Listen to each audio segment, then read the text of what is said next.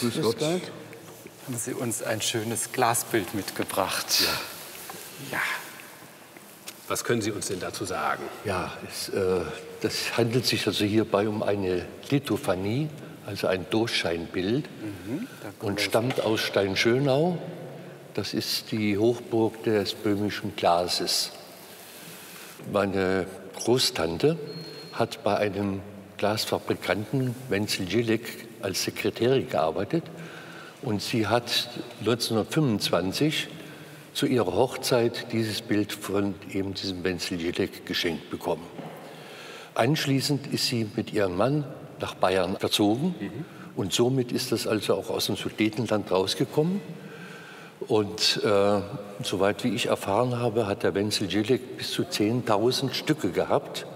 Aber nicht nur Lithophanien, sondern auch Gläser, Pokale, die äh, größtenteils im Wirren des Krieges verloren gegangen Also als sind. großer Sammler bekannt. Ja, als großer Sammler. Und Sie haben es dann von Ihrer Tante bekommen? Meine Tante, also Großtante, die hat mir das äh, mit 18 Jahren geschenkt, weil ich äh, als Glasgraveur ausgebildet bin, meinen ersten Beruf, und äh, ich somit auch das, den Wert dieses, dieses äh, Lithophanie schätzen könnte. Wo hatten Sie denn Ihre Ausbildung als Glasgraveur? In Hadamar. In Hadamar. Hadamar. Wunderbar, dann sind Sie ja vom Fach und können uns wahrscheinlich auch direkt etwas zu der Technik sagen, in der das gemacht wird. Ja, das ist, ist also eine farbige Lithophanie, die relativ selten ist. Äh, meistens sind die Lithophanien in Blau oder in Rot. Genau, Und blau sind- sehen wir hier ganz schön auf der Und Rückseite. das sind, Ja, hier äh, sieht man es sehr schön. Das sind also eine Überfangscheibe. Und da sind also auf einem klaren Glasträger ist dann ein ganz leichter blauer oder roter Überzug drauf, ge, drauf gemacht. Die Schwierigkeit bei der Arbeit ist, dass der Glasgraveur von beiden Seiten, bei Rot und bei Blau, etwas wegschleift und das zusammengesetzt ergibt dieses Gesamtbild. Ja, also muss ich noch mal verdeutlichen, es sind ja tatsächlich zwei Scheiben, nicht? sind zwei Scheiben, Also die ja, auch ja. nicht, die sind nur durch das Blei miteinander So verbunden. ist es. Genau. Das ist natürlich, sowas habe ich selber noch nie in der Hand gehabt, weil das Übliche ist ja eine Scheibe mit verschiedenen Farbschichten. Und wenn ich dann da reinschneide, dann trage ich Farbschichten ab, dann kommen die anderen zutage.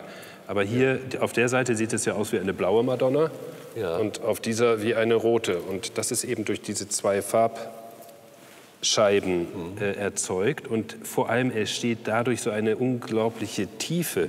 Man sieht das vielleicht so ein bisschen, wenn man das so schräg sieht, dass die, das Gesicht quasi hinter dieser Scheibe zu schweben scheint. Das Ganze gibt ja auch so einen, äh, ja, als Kunsthistoriker gibt es den Begriff des Sfumato, nicht? Also dieses ganz weiche, diese ganz weiche Darstellung. Ja, man muss wirklich sagen, durch das Zusammenspiel dieser beiden Scheiben bekommt das äh, wirklich eine ganz andere Wirkung, als man das sonst von Lithophanien kennt. Das ist schon sehr beeindruckend. Also Lithophanie muss man vielleicht noch kurz erklären. Lithos, griechisch der Stein und Phanie, also so durchscheinend. Ganz genau. Ähm, eigentlich ein Begriff aus der Porzellankunst. kennen wir eigentlich anfänglich aus der Porzellankunst. Das, das sind ja dünne, durchscheinende Porzellanplatten, die dann ein Relief erhalten, um es ganz simpel zu, äh, auszudrücken. Und wenn Licht durchscheint, äh, entfalten sie dann wirklich so ihre ganze schöne Pracht und Optik. Und äh, in der Tat kennt man ja den Künstler, der solches äh, produziert hat, vor allem dadurch, dass es eben diese Doppelscheibentechnik ist. Das gab es im Grunde nur einen, der das gemacht hat, nämlich Karl Pohl. Genau, das ist der Großmeister Ja, ja. dieser, Dieser- Technik. Und Sie finden ja auch, äh, wenn Sie im Museum von Steinschönau äh, sind, äh, finden Sie ja viele seiner Arbeiten durchaus. Und Sie haben es zu Hause auch aufgestellt oder Ja, wir hatten das eine Zeit lang im Fenster hängen. Und äh, das war mir aber in letzter Zeit etwas zu gefährlich. das hat Ihnen gefallen? Also ich würde ja, doch sehr, denken, sehr dass das... schön. Äh, Also Sie haben beide Freude dran. Ja, das ist doch Weil toll. eben gerade auch das Blei, das ist alles noch original aus, ich schätze, immer ein bisschen 1890. Und die Gefahr, dass was passiert, ist, war mir zu groß, weil es ja doch etwas... ja, ja. Also um Blei- 1890 ähm, Und dann in diesem Zustand, das ist schon ziemlich sensationell. Und dann noch diese, diese sehr klare Zuschreibung. Was würdest du denn die, denken? Also das kann man sicherlich Karl Vohl zuschreiben. Ja, und auch die, die Lithophonie kann man ja selber auch so um 1875 datieren. Und die, die Bleiumrandung ist dann, wie Sie schon sagten, später dazugekommen. Ja, ja, ja. Zum Preis würde ich sagen, die kommen wirklich selten vor. Ich wäre hier auch etwas vorsichtig. Ich würde einen Preis festsetzen, so zwischen 1000 und 1500 Euro. Und ich könnte mir vorstellen, dass da äh, Sammler auch äh, bereit sind, dann bei einer Auktion wesentlich mehr zu bezahlen. Also halten Sie es in Ehren. Viel Vergnügen damit. Ja, danke, dass Sie es uns gezeigt haben. Vielen Dank.